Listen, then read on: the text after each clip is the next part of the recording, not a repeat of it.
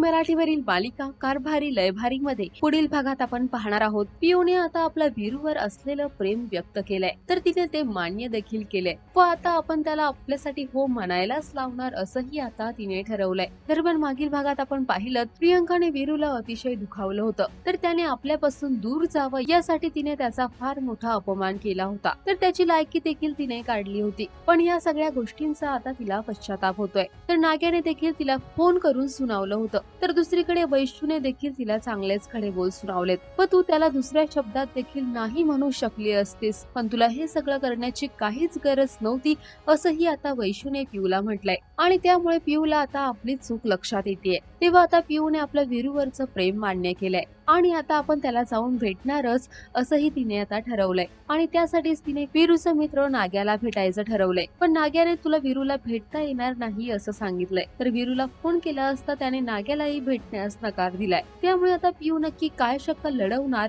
व वीरू तिच्याशी बोलणार का हे तरी नऱ्या भागातच स्पष्ट होईल. मराठी मालिकांच्या अशाच अपडेटसाठी टेली रिपोर्टर मराठीला सबस्क्राईब करा आणि तुमच्या प्रतिक्रिया कमेंट बॉक्समध्ये नक्की नोंदवा.